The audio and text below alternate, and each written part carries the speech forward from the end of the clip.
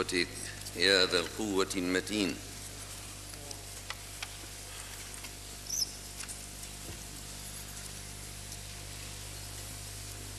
كان بحثنا الماضي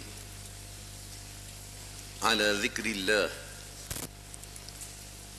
وبينا أن ذكر الله عز وجل بذرة تزرع في قلب المؤمن. وهذه البذرة إذا سقيت بماء محبة الله أنبتت شجرة أصلها ثابت في قلب المؤمن وفرعها في السماء متصل بالعرش. تؤتي أكلها هذه الشجرة كل حين بإذن ربها. يعني يكون الفتح الإلهي لهذه الشجرة التي هي ذكر الله يكون فتح الله فيها في كل لحظة من لحظات العمر. أينما وجد أثمرت وأينعت وآتت أكلها كل حين. وهذه البذرة التي تسقى بماء حب الله. كما ذكرت تزهر زهرة. زهرتها المراقبة لله. فإذا الذاكر هو الذي يراقب الله عز وجل في كل أحيانه مراقبة دائمة كأنه مع الله وكأن الله معه. اعبد الله كأنك تراه. وهذا مقام الإحسان. وقول الله عز وجل وهو معكم أينما كنتم وهناك آيات كثيرة تدل على ذلك. فالمؤمن هو الذي يراقب الله في كل أحيانه. وليس الذكر أن تذكر في المسجد ويصفو قلبك فيه. إنما الذكر أن تذكر الله عند ميول قلبك للشهوات وعند تغلب الدنيا وعند المال. هناك الذكر الحقيقي. الذكر أن تحجب نفسك الأمارة بالسوء عن كل خطيئة ومعصية. هذا الذكر أن تحجب الإنسان عن اللقمة الحرام عن أكل اللقم الحرام مهما كان حاله وإن كان بمنتهى الشدة لا يأكل لقمة حراما لأنه يذكر الله تعالى. والذكر لما كان حضور مع الله عز وجل كان مراقبة العبد لله عز وجل في كل لحظة من لحظات الحياة. والمؤمن يقول دائما إذا كان سيدي رقيبا علي فلا أبالي بغيره. إذا كان سيدي الله إذا كان رقيبا علي فلا أبالي بغيره يعني لا ألتفت إلى الغير ولا إلى الناس لأن الناس كلهم مخلوقون وهم من أهل الفناء. الله وحده هو الباقي هو الأول والآخر والظاهر والباطن. فإذا كنت مراقبا لله وحده فلا تسأل إن كان الناس في رضا أو في غير رضا. من أصلح ما بينه وبين الله أصلح الله ما بينه وبين خلقه. ومن أصلح جوانيه أصلح الله له برانيه. هذا ورد حديثا. من أصلح ما بينه وبين الله أصلحت قلبك إذا نظر الله إليه يجده حاضرا معه. والناس مساكين ما عرفوا إلا نظر الناس. مشان الناس ينظروا إليك تلبس وتتهندز. وإذا كان القميص ما مكوي منيح بتشلحه وإذا الجرافة ما مرسوكة منيح بتشلحها والجاكيت بده يكون مفصل على القالب مشان نظر الناس إلك لنظر الناس أحسنت لباسك. لنظر الناس جملت قوامك. والله ينظر إلى قلبك لا ينظر إلى ظاهرك. فهل أصلحت القلب لنظر الله؟ إن الله لا ينظر إلى صوركم ولا إلى أجسادكم ولكن ينظر إلى قلوبكم. وأعمالكم. فنظر الناس إلى الجسد هيأت جسدك. ونظفته وطهرته وسرحت الشعر وتعطلت من أجل نظر الناس إليك. ومن أجل نظر الله ما جاي لبالك نظر الله؟ ولا عم تفكر بنظر الله إليك. ولا خاطر لبالك تصلح قلبك. إذا نظر الله إلى قلبك يرى قلبك نقيا طاهرا صافيا ليس فيه إلا اسمه. لا يدخل في القلب إلا الله فقط القلب فقط لمحبة الله. لا يدخل القلب محبوب إلا الله وحده. وما بقية المحبوبات كلها كلها قشر لا تتعلق بقشر وأنت مع الله. وأنا أتيت بمثال مرة لكن عيد لكم هالمثال حتى تتذكروا كيف تكون محبة محبة الله عز وجل. لعلكم من شهرين شفتوا الدرائن. شفتوا الدرائن كلكم مين شاف درائنة بذرتها مفلوقة؟ أكثركم شفتوا الدرانة اللي بذرتها مفلوقة انظر إلى هالدرانة في البذرة الجوانية والبذرة اللي برا وفي الدرانة وقشرة الدرانة صح؟ هذه تمثل القلب. البذرة الجوانية هي محبة الله. هي ذكر الله. لا يدخل للداخل أحد.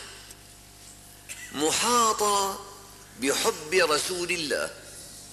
القشرة الشديدة اللي بدها تحافظ على محبة الله.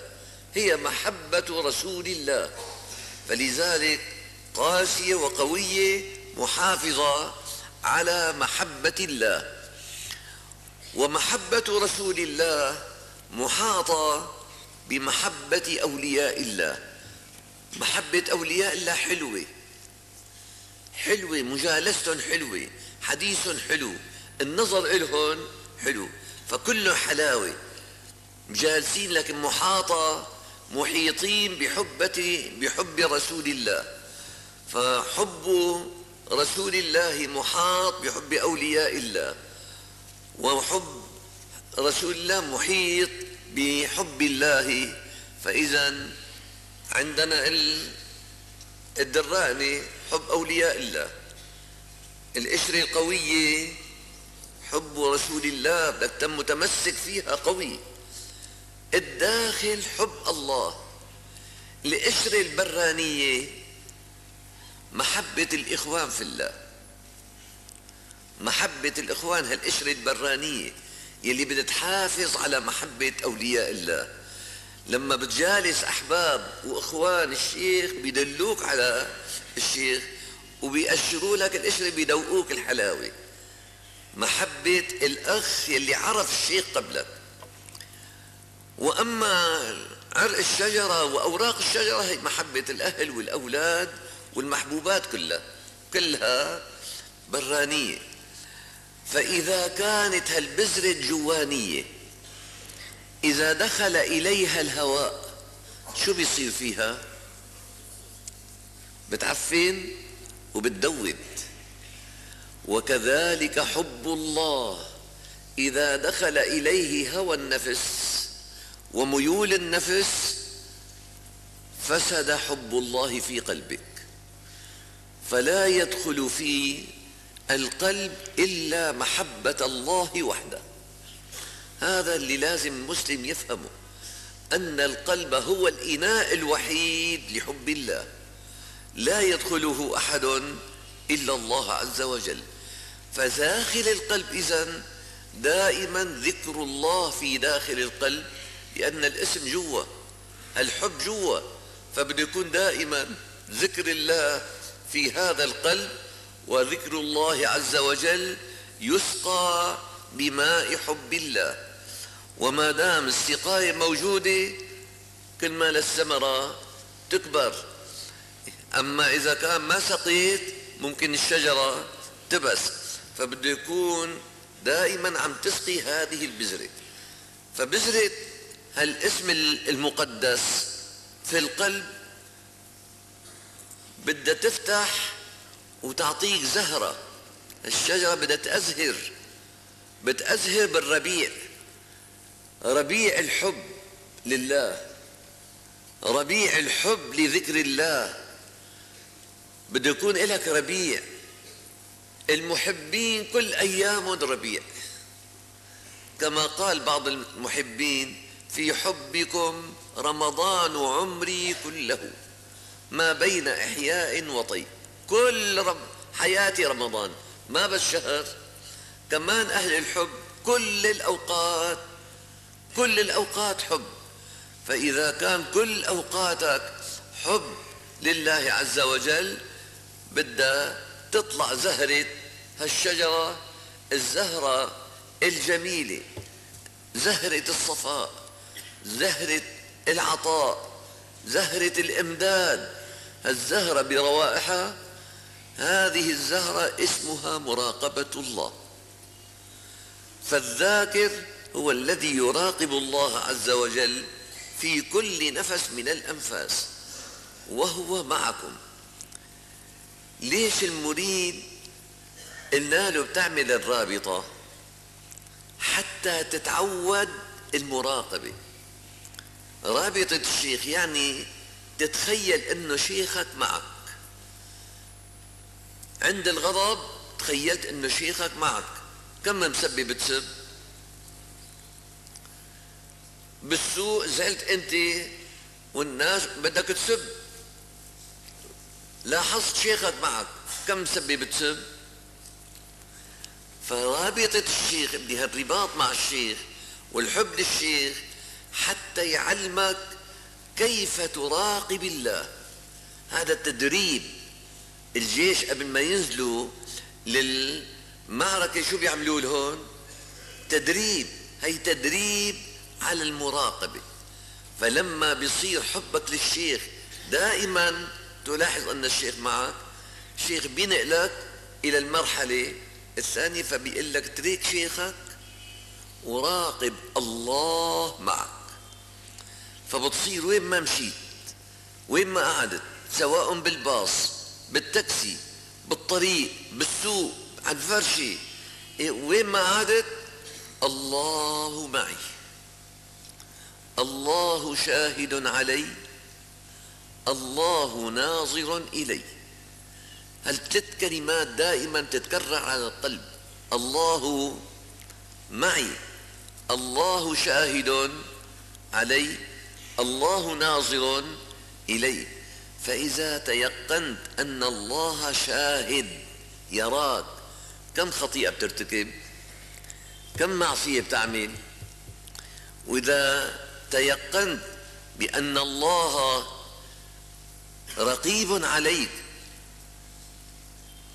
شاهد علي الله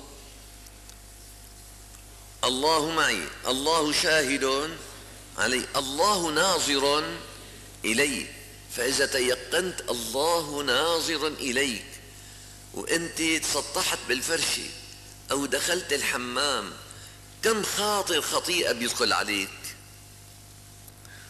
وانت عم تلاحظ الله ناظر الله شاهد وناظر فإذا الله شاهد وناظر كم فكر بتفكر بالمعصية؟ فإذا المراقبة هي حفظ وستار لك من كل خطيئة أو معصية. وهذا الإيمان الذي أخبرنا النبي صلى الله عليه وسلم عنه بقوله أفضل الإيمان أن تعلم أن الله معك حيثما كنت. أفضل الإيمان أن تعلم أن الله معك حيثما كنت. يا سبحان الله بالشارع نعم. بالطريق بالبيت بالسوق وهو معكم. فإذا معك معناته أصبحت أنت ملكا في قالب بشر. روحك روح الملائكة. ما عادت تفكر بالخطيئة. ما عادت تفكر بمعصية ما عادت تميل إلى إيه، خطايا. ما عاد يطلع من لسانك كلام. بارد أو تفكر بخطيئة لأنك تراقب الله معي. أتى رجل للإمام الجنيد رضي الله عنه وأرضاه. قال له يا سيدي بما أستعين على غض البصر؟ بصري عم يفلت وما عم بحسن. عم يفلت عم يطلع شو بدي أعمل لحتى غض البصر؟ علمني طريق غض بصري عن الحرام. فقال أن تعلم أن نظر الناظر إليك أقرب من نظرك إلى المنظور. نظر الله إليك أقرب من نظرك إلى من تنظر إليه. فإذا كان الله ناظر إليك والله شاهد عليك وهو معك فكيف تنظر والله يراك. حاول يا, يا أخي حاول. لاحظ بكرة وأنت ماشي بالطريق. لاحظ أن الشيخ ماشي معك. ومرت وحدة من قدامك مكشفة. والشيخ معك بزمتك كم نظرة بتنظر؟ كم التفاتة بتلتفت؟ ولا التفاتة. هذا الشيخ. فكيف لو كان رسول الله معك؟ انت ماشي والنبي معك. كم نظرة بتنظر؟ احكوا لشوف ولا نظرة. فإذا كان خالق الوجود معك الله بعلمه الله بشهوده الله باطلاعه عليك معك. كم نظرة؟ ولا نظرة. انتهت. إذا أنت استطعت تحجب نظرك لما راقبت أنه الله عم ينظر عليك. ما استطعت تتخيل هالعظمة والهيبة؟ صغرها لو كان النبي معك. كيف تمشي؟ امشي وأنت عم تصلي على النبي عليه الصلاة والسلام. ولاحظ أن النبي يمشي معك فما عاد في نظر. لاحظ شيخك معك ما عاد في نظر. هذه المراقبة المراقبة هي حصن من الذنوب والخطايا والمعاصي. فإذا كان حصن فمعناتها ما عاد تتقرب ولا عاد تفعل أي شيء مما مما وقع أم يقع مع الشباب. ليش هذاك نظر؟ لأنه غفل عن الله. وليش هذا الثاني سب؟ لأنه نسيان أنه الله معه. ما حاب راقب أنه الله معه. فالمراقبة يا ابني هي هذا دواء كبير لتخفيف الآلام عنك. إجا واحد سبك وأنت مراقب أن الله معك. لما سبك تضحك. ليش؟ لأن الله رآك. وسمع. هو عم يسب وانت عم تضحك. يرسل الله ملكا يدافع عنك. ملك عم بيدافع. فإذا أنت رديت ذهب الملك وحضر الشيطان. حصلت مع سيدنا أبو بكر الصديق لما كان مع النبي صلى الله عليه وسلم. أتى رجل فشتم أبو بكر رضي الله عنه وأرضاه. فسكت أبو بكر. والنبي قاعد فصار النبي يبتسم. النبي عم يضحك وهذاك عم يسب أبو بكر أبو بكر ساكت والنبي عم يضحك. مرتين ثلاثة زودها تقلها والنبي عم يضحك بيظهر زادت عن الحد والإنسان له كمان له حد كمان. فسيدنا أبو بكر رد عليه. لما ردوا أم النبي زعل وتأثر وفز ومشي. ركض سيدنا أبو بكر وقال يا رسول الله إيه صار ساعة عم يسبني وأنت عم تضحك. إيه كلمة رديت لسه كلمة. مال فقال يا أبا بكر لما كان يشتمك وأنت ساكت أرسل الله ملكا يرد عنك. فلما رددت أنت ذهب الملك. وحضر الشيطان وما كان لنبي أن يجلس في مجلس فيه شيطان. يا سبحان الله شو معناتها؟ معناتها لما رديت غفلت عن الله. بهالغفلة حضر الشيطان. الملك ما بقى له وجود. ملك ما دمت مع الله معك. متى ما غفلت عن الله بعد بعد عنك وحضر الشيطان. فإذا مراقبة الله عز وجل أن تكون دائما ملاحظ أن الله مطلع عليك. ما على جسمك ما على أوعيك يطلع على القلب. فطهر قلبك لنظر الله. بتطهر ثيابك لنظر الناس. ألا تطهر قلبك لنظر الله؟ الله بده ينظر عم ينظر لقلبك. والله ينظر إلى قلوب عباده. كل يوم كل ساعة كل لحظة الله ينظر إليك فهل طهرت قلبك لنظر الله؟ هل صار قلبك موضع لنظر الله؟ أنه شرف هذا؟ بده يتشرف الإنسان الذي ينظر الله إلى قلبه. قال الإمام الشعراني رضي الله عنه وأرضاه قال أيها المريد اجتهد أن تثبت اسمك في قلب العارف بالله. هذا كلام الإمام الشعراني. يقول أيها المريد اجتهد أن تثبت اسمك في قلب العارف بالله فإن لله في كل يوم ثلاثمائة وستون نظرة إلى قلب العارف بالله.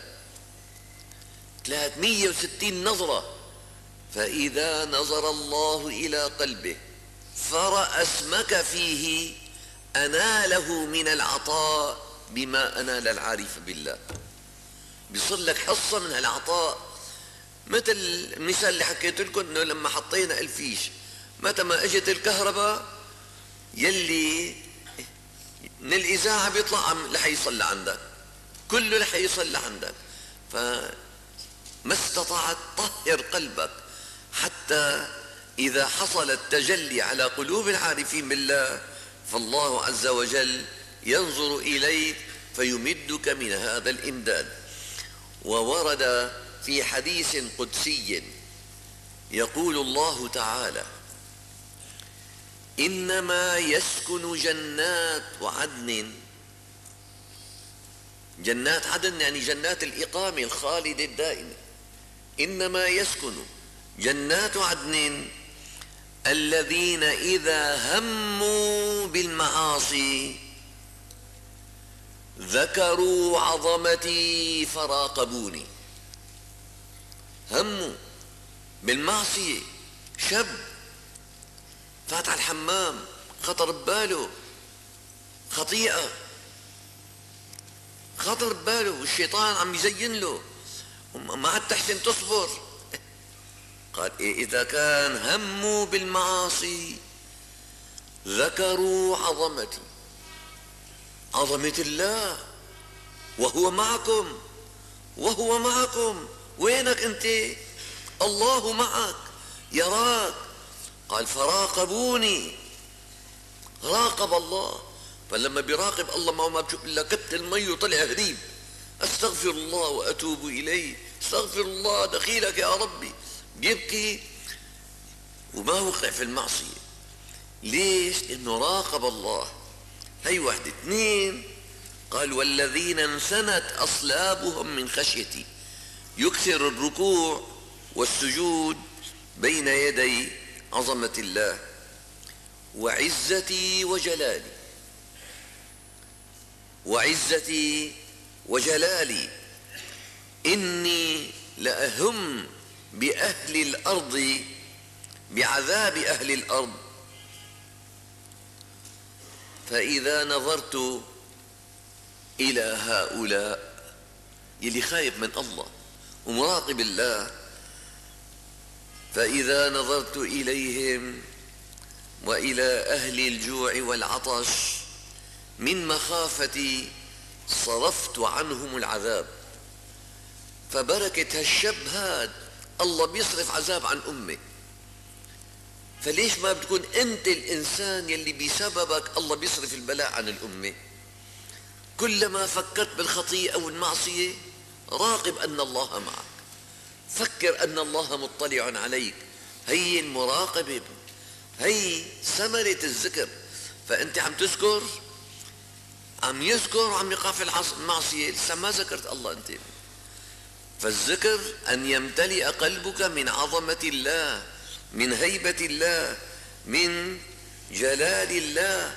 فإذا عرفت هذا الحال عندها تراقب أن الله مطلع عليك. هلا بترجعوا للبيت. ممكن أبوك يقول لك وين كنت؟ وين كنت؟ يطلع خلقه عليك. أنت راجع مراقب لله. تبتسم. تبتسم لأبيك ما بتحط العهدة تبتسم. لك ليش عم تضحك؟ قل له الحمد لله. الحمد لله. أنت زعلان مني وأنا كنت مع الله. والله أمرني إنه أنا أسمع لك وأبتسم لك. فأنا مبتسم لك ولو طلع خلقك علي. لأن الله هيك يراني وينظر إلي. الله شايفني وأنا بدي ابتسم لك حتى إذا رآني على حال ترضيه يرضى عني والله يرضى عنك كمان يا بابا. ما بتشوف إلا أبوك. نواص صغير. شو هالحكي هذا؟ منين الحكي هذا؟ قال له يا بابا هيك الله قال وهو معكم. أينما كنتم؟ فالله معي ومعك. شايفنا. قال له روح هلا روح روح هلا من الشباب ما انطفت هذا يا ابني المراقبة لله. فلاحظ دائما وهو معكم. وإذا لاحظت كيف بدك كيف بدها تصير المراقبة معك؟ ممكن؟ ممكن. سألوا الإمام الجنيد الإمام الجنيد كان دائما يقعد ويراقب أكثر أوقاته مراقب. قالوا لسيدي منين تعلمت هالمراقبة هي؟ هالمراقبة هي دائما منين تعلمتها؟ قال لهم أستاذي فيها قطة أستاذه مين؟ قطة استغفر الله يا شيخي. لا قال لهم يا ابني مزبوط شلون؟ قال لهم يا ابني أنا كنت رايح على صلاة الفجر. والدنيا برد. شفت القطة قاعدة مواجه ثقب فأرة. بكليتها متوجهة. عم تستنى الفأرة بمجرد بس ما تطلع. قاعدة كلياتها. مراقبة. قال فرحت صليت وخلصت الورد ورجعت ولساتها القطة قاعدة. قال فقلبي حدثني إنه هي قطة طالبة فارة وتلج ومطر وقاعدة ساعتين ومتوجهة من شان فارة. أنت مين طالب؟ أنت طالب الله. الله بعظمة الله. إيه ما بتقعد بتراقب ساعة؟ فمين بيطلع مراقبته أكثر القطة ولا أنت؟ تعلم من القطة قال فصرت أقعد ساعة وساعتين مراقب أن الله معي. القلب يذكر والعقل يفكر أن الله معي. لذلك ما خالفت المراقبة ولا طرفة عين. تحسنوا تعملوها؟ عود كل وقت صلاة بين ما يأذن وبين ما تقام الصلاة صلي السنة عود غمض عيونك. لاحظ أن الله معك. قبل ما تنام عود خمس دقائق راقب الله الله والله معك. وتسطح وأنت تذكر الله وتراقب أن الله معك. هذا يا ابني يلي بهالمراقبة هي بينال كل الحظ من الله تعالى. ومن فاتته المراقبة فاته حظ العطاء من الله. عطاء الله دائم عطاء الله لا ينقطع. لكن لمن؟ إذا كان عم يوزعوا خبز. كل واحد عم يوزعوا له ربة خبز. إذا أنت واقف وحاطط إيدينك ومكتف. تاخذ خبز؟ شو لازم تعمل لك مد إيدك. مد إيدك وتاخذ ما مديت إيدك ما بتاخذ فالله عطاياه واسعة. وتجلياته قائمة. لكن قلبك ممتد إلى الله مفتقر إله طاهر حتى يعبي لك. اياه تكون تذكروا الله حتى يطهر القلب. فإذا طهر القلب راقب. ودائما بعد الذكر نحن بنقول مراقبة شريفة. بعد ما بيخلص الذكر مراقبة يعني لاحظ أنك بين يدي الله. القلب صلوا نص ساعة. الله الله الله. لاحظ أنك مع الله. خمس دقائق مع الله حضور هيبة جلال. بعد ذلك اقرأ الفاتحة. كاستئذان بالانصراف وقم. هذا الذاكر فإذا كان صارت هالمراقبة معك فمعنى ذلك أنك أنك لا تغيب عن الله طرفة عين. وقد ورد في حديث النبي عليه الصلاة والسلام يا معاذ. كل واحد منكم يلاحظ إنه هو معاذ. والنبي هلأ عم يحاكي له أنا عم بنقلكم الحديث. المتكلم بالحديث مين؟ النبي صلى الله عليه وسلم. يا معاذ إن المؤمن لدى الحق أسير. يا معاذ إن المؤمن لدى الحق أسير.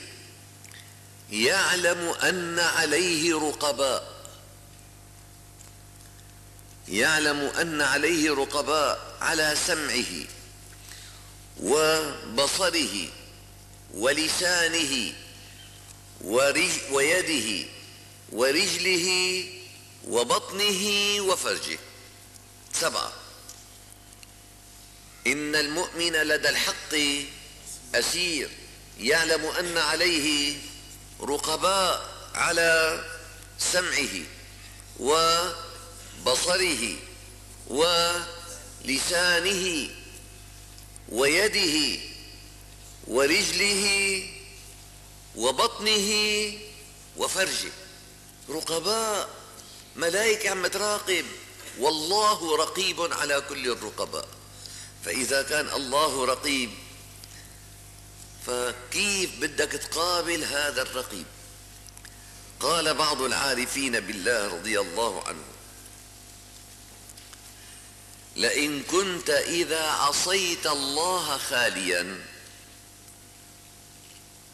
لئن كنت إذا عصيت الله خاليا ظننت أنه لا يراك.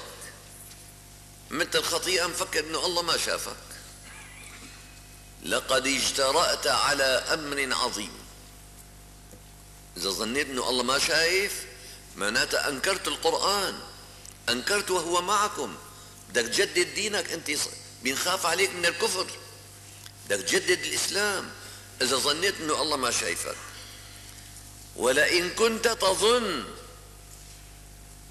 أنه لا يراك فقد كفرت. فإذا قلت إنه ما عم يشوفني. كفرت. وإذا كنت يراك وأنت تجترئ على المعصية أنت ارتكبت أمر عظيم. قدام أبوك ما بتعملها. قدام ولد ما بتعملها. قدام الله شلون عم تعملها. فلذلك يا ابني الناحية هي الناس عنها في غفلة. الناس غافلين عنها بالمرة. مراقبة يمكن يمكن مرة مرتين سامعينها في حياتكم أو ما سمعتها لسه. مراقبة الله كيف؟ الله رقيب وإذا كان رقيب عليك وشهيد عليك وبصير بك ما قريت آيات القرآن؟ إن الله سميع بصير. إن الله على كل شيء شهيد. إن الله بما تعملون خبير. فإذا قريت الآيات وين مكانها في قلبك أنت معتقد بهالآيات هي؟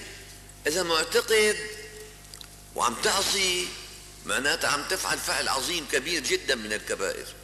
وإذا اعتقد اعتقدت أنه لا ما عم يشوفك وعم تتخبى منه فبدك تجديد دين أنت؟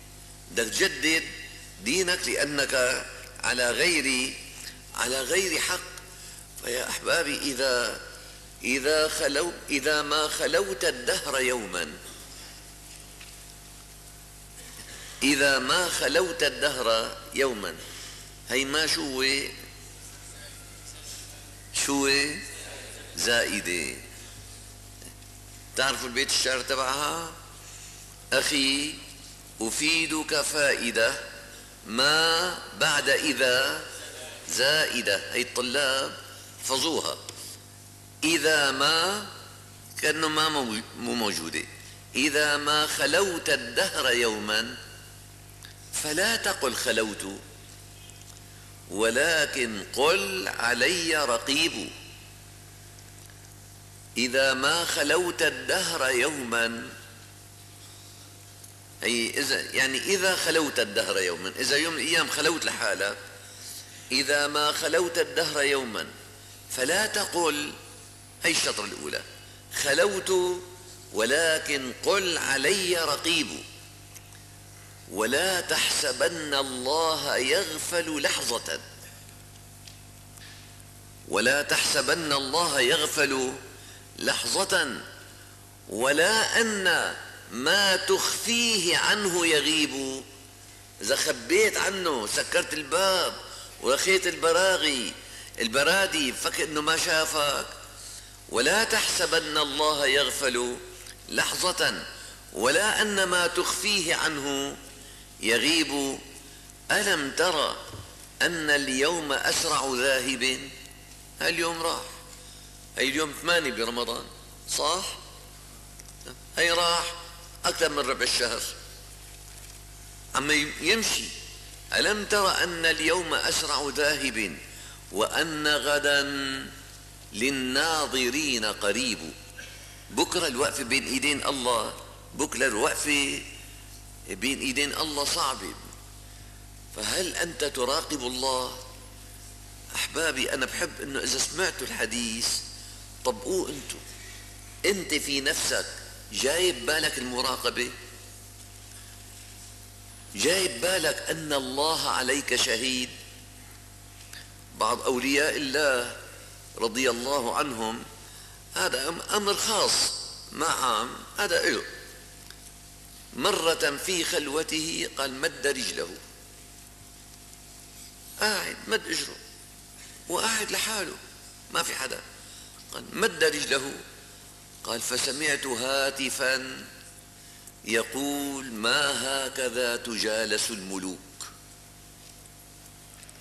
ما هكذا تجالس الملوك. قدام الملك بتمد اجريك أعوذ بالله. إيه الله معك؟ فضب إجره. قال وبقي حياته كلها ما مد رجله. هي مراقبة هي شديدة. ما بنقول لك نام تصلى هون أنت بس راقب عند الخطيئة عند الشهوة عند المعصية عند المال. راقب أن الله معك. فالمراقبة يا ابني راقب نفسك على استقامتها. خلي النفس دائما تستقيم على دين الله تستقيم على التوجه إلى الله. ومرن مرن حالك يا ابني عود هلا دقيقة. واسمعوا مني والله يوفق يلي بيعمل يا ابني الليلة عود دقيقة راقب. دقيقة. غمض عيونك ستين ثانية. بكرة ساويهم دقيقتين. بعد بكرة ثلاث دقايق. لآخر شهر رمضان قديش بيصيروا معنا؟ عشرين دقيقة اثنين وعشرين دقيقة ثلث ساعة يعني. صارت المراقبة ثلث ساعة. لاحظ هالمراقبة هي بتلاقيها صارت مثل العادة عندك. وانت ماشي بالطريق صارت المراقبة حاضرة. ما بدها تغمض عيونك؟ مجرد ما تلاحظ قلبك شوف الله معي. شاهد في الطريق. رأيت فلان عم يتخانق هو فلان فورا وهو معكم. فدائما تشعر أن الله معك. ولما بيكون معك شو بيكون معك؟ ولله العزة ولرسوله وللمؤمنين. هي أخذت من العزة. وأن القوة لله جميعا أمدك كذلك بالقوة. والله ذو الفضل عظيم أمدك بالفضل العظيم. فخذ هي كلها من آيات القرآن هي المراقبة. فراقب نفسك على استقامتها. ثم راقب لسانك على نطقه وعينك على النظر. راقب اللسان. لسان بده يفلت بده يسب بده يحكي. حبسه ممنوع. الله يسمعني. وما يلفظ من قول إلا لديه رقيب. عم يسجلوا عليك. كل حرف عم يطلع. فلا تحكي كلمة تنكتب عليك. احكي كلمة تنكتب إلك. لذلك قال صلى الله عليه وسلم لا تكثروا الكلام بغير ذكر الله. لا تكثروا الكلام بغير ذكر الله فإن كثرة الكلام بغير ذكر الله قسوة للقلب. فإن كثرة الكلام بغير ذكر الله قسوة للقلب وإن أبعد الناس من الله القلب القاسي. أبعد الخلق من الله القلب القاسي. لا تخلي قلبك يأسى لا تكتر الكلام. راقب على لسانك لا تنطق إلا الكلمة الصالحة. الكلمة التي تؤجر عليها. وعينك إذا بدها تنظر إلى خطيئة أو إلى عيب أو إلى نقص غض البصر. غض بصرك. وراقب أن الله يراك. وقل للمؤمنين يغضوا من أبصارهم. غمض بصرك بأن الله يراك. الله مطلع عليك. راقب عملك بالإخلاص لله. إذا عملت أن يكون العمل لله ما مشان خاطر فلان ولا مشان يشوفوك ولا مشان يمدحوك ولا من أجل يقولوا ما شاء الله حوله. لا تنظر إلى الخلق. أخلص لله. إن تعلمت فلله. وإن علمت فلله. وإن قرأت فلله. وإن أكلت فلله. كله لله. لا تجعل لنفسك حظ. ولا تفرح بمدح الناس. لك ابني مدح الناس كله كله هوى بهوى واللي بيفرح بمدح الناس هذا قليل عقل اجوا لواحد قالوا له السلام عليك يا أمير المؤمنين وقام نفخ حاله. شو؟ قال أنا صرت أمير المؤمنين. هذا بالعلية كم أمحى فيه؟ آه ولا أمحى. ما في ما في حاجة. إذا مدحوك بتصدق مدح الناس يا ابني. أنت أعرف بنفسك. أنت حتال وعم يقولوا لك السلام عليك يا قائد الجيش الأعلى. إذا صدقت لازم يحطوه بالعصفورية هذا. فابني لا تفرحوا بمدح الناس. الناس بيداهنوا على بعضهم البعض. بيداهنوا بعضهم بفرشوا جوخ لبعضهم. هذا بيمدح هذا وهذا بيمدح هذا من شان مصلحة. أما المؤمن يرى الله. يراقب الله يعمل لله. واعمل لوجه واحد يكفك الوجوه كلها. لله فقط. لا تلتفت إلى فلان ولا إلى فلان. فإذا راقبت لسانك وراقبت بصرك وراقبت عملك لك راقب قلبك بالحضور مع الله.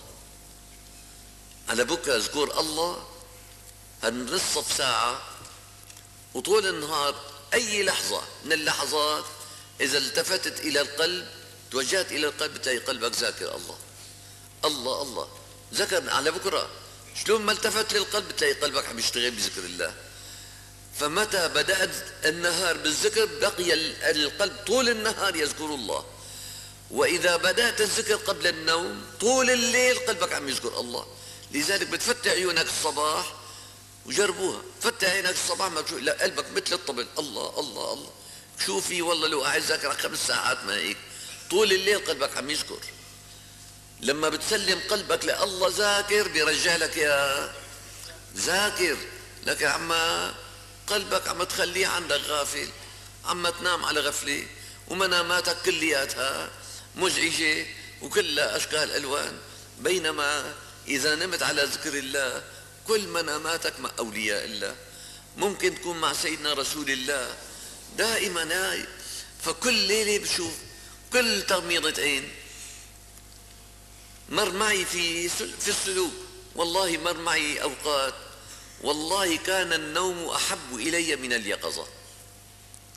النوم أحب رغم أنه نومي نوم من وقت اللي كنت. ما بعرف أنا نومي من وقت اللي بدأت تعرفت على شيخنا. من سن 13 سنة إلى الآن. نومي ما بيزيد عن ثلاث ساعات. لازم أقعد. ثلاث ساعات. لازم أقعد. إذا بغض عيوني خمس دقائق خمس دقائق ما بيروحوا فيك الأحباب بحكي لهم بعض أوقات والله هلأ غمضت عيون رأيت حالي مع الشيخ رأيت حالي مع الشيخ الفلاني. كل تغميضة عين. بتشوف حالك في حال من الأحوال مع الحبيب مع الشيخ مع أولياء هذا يا ابني القلب لما بيصفى. لما بيصفى فما استطاعت طهر قلبك. اذكر الله ونام على ذكر. ناموا على ذكر. لا تنام يا ابني وانت غافل. نام سيك مسبحتك.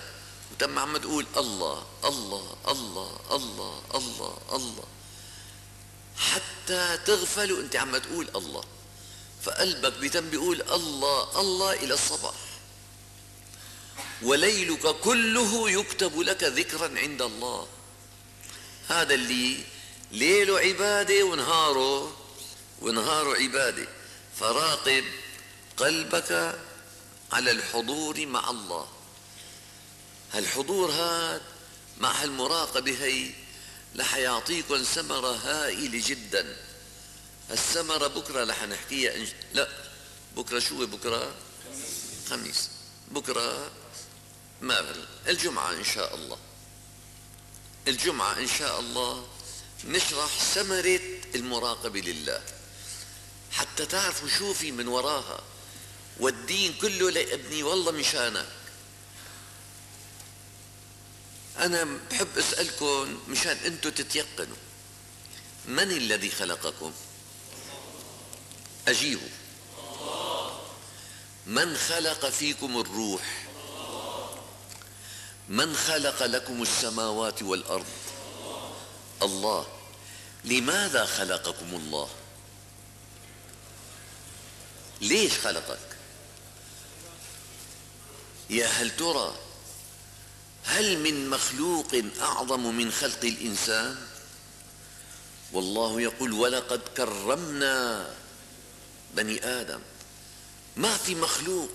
هل ورد في الآية ولقد كرمنا الملائكة في آية بتكريم الملائكة. التكريم لمين؟ إلك يا إنسان.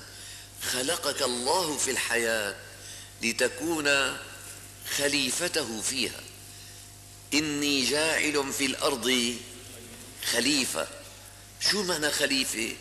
يعني أن تكون تنشر في الأرض اسم الله. هي الخليفة. أن تنشر حب الله في هذه الأرض. توسع القلوب باسم الله. أنت خليفة الله. فلما بتحيي القلوب بالله وبتغذي القلوب بالله ولح ترجع أنت وياهم إلى الله فينظر الله إليك. أنقذت عشرة عشرين ثلاثين. فبذلك يرضى عليك رضاء لا سخط بعده. وتكون في جوار الله مع الأنبياء. فمن هدى ولو ولو سلاسة اهتدوا على إيدك.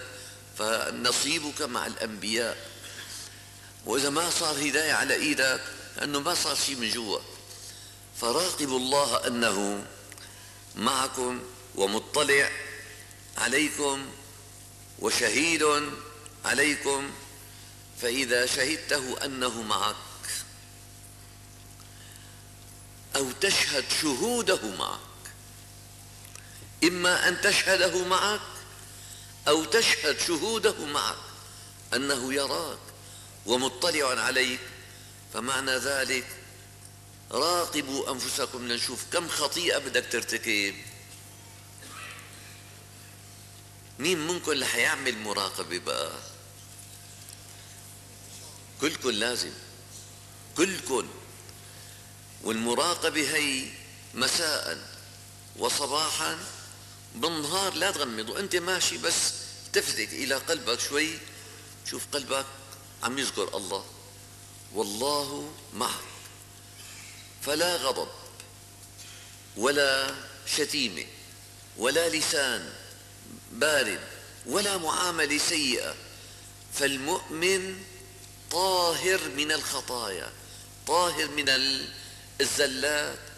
وشو بنعمل بحديث كل بني آدم خطاء؟ وأنت عم تاكل إذا غفلت عن الله هي خطيئة يا ابني. خطيئة. ما شرط الخطيئة تشرب كاسة عرق. في خطيئة أعظم. نسيانك لله هي أكبر خطيئة. نسوا الله فنسيهم. هي خطيئة كبرى. فيا ابني دائما وإذا الله وفق إن شاء الله جايكم أيام بدي أحكي لكم أشياء في كتير عندي. بس الله يحيي قلوبكم تفهموا علي. والله يا ابني بعض أوقات ببكي محروق. محروق. بدي مين يفهم علي. هذا المجلس يا أبني هذا من الخواص. هذا العالم بيقعد خمسين سنة بعلمه ما بيجي لباله المراقبة ساعة. سأل المشايخ قال له شيخي شو هي المراقبة؟ ما سمعان فيها. انتو الله عز وجل اختاركم لتسمعوا. والمراقبة هي من عندي ولا من القرآن؟ من كلام الله. وهذا هي حياة الإيمان يا ابني لما قلبك بيصير بيراقب الله معه صار فيه حياة. ولما بيحيا القلب بالله صار القرآن بالنسبة له هداية ونور. قال الله تعالى ومن يؤمن بالله يهدي قلبه. يهدي قلبه. ولوين الهداية؟ ويهدي إليه. إليه. يا سلام. إليه الهداية إلى الله. ويهدي إليه من أنام فاجتهدوا أن تطبقوا الله يرضى عليكم هل هالمراقبة لعل الله أن يفتح عليكم؟ دائما مع الله. ممكن تجيك ساعة وساعة. برافو عليك إذا صار ساعة وساعة عظيم يا أبني. في أول الأمر إذا كان بالنهار راقبت خمس دقائق عظيم.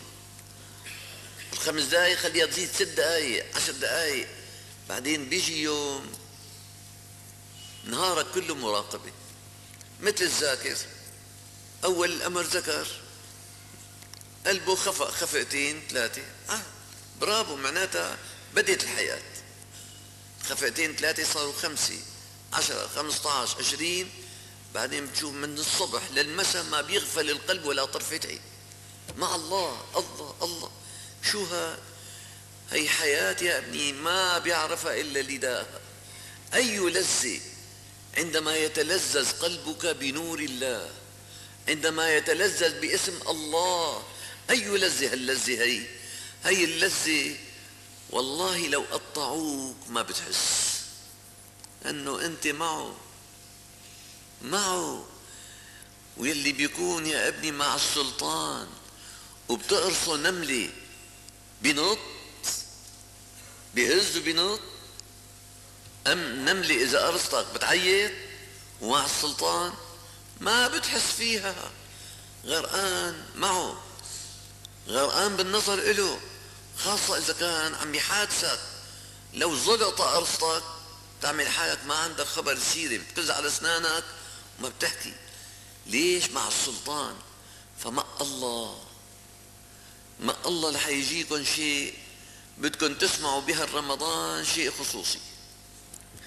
ما دام عم تحضروا أحضر معكم إن شاء الله لاعطيكم أشياء كلها جديدة عليكم بفضل الله كلها جديدة وأول مرة رح تسمعوها في حياتكم وإن شاء الله بتطبقوها. متفقين على أن نطبق؟ الله يوفقني وإياكم أن نراقب أن الله معنا على كل حال. يا معاذ. مين معاذ؟ يا معاذ. إن المؤمن لدى الحق أسير. يعلم أن عليه رقباء على سمعه وبصره ولسانه ويده ورجله وبطنه وفرجه. رقباء وإذا كان في رقباء في الحديث له كمالي حديث هو له له كمالي إن الله يسأل المؤمن عن كل شيء حتى عن فتات الطين بأصبعيه. إذا أصبعتين فركت الطين أخذت طين جارك وفركتها الله بده يسألك عنها. فإذا الله بده يسألك لما بتكون مراقب بده يقول لك شو عملت؟ هو العليم بك. يقول لك أنت كنت مراقب لي وأنا معك. والمراقب لله ما له محل بالجنة له محل بالقرب إلى الله. الله يجعلني وإياكم أهلا لذلك ويوفقني وإياكم لما فيه رضاه عم بختصر أنا قد ما استطعت. المراقبة بدها درسين يا وثلاثة. لكن عم بختصر قد ما استطعت عم تاخذوا أنتم شيء على حسب المستوى. وأرجو الله إنه ربي يزيدنا وإياكم من النعم. يلا منكمل التراويح. اللهم نور قلوبنا بنور معرفتك. ويسر لنا بيودك وفضلك يا أرحم الراحمين. منكمل التراويح عشرين ركعة. وفقنا الله وإياكم.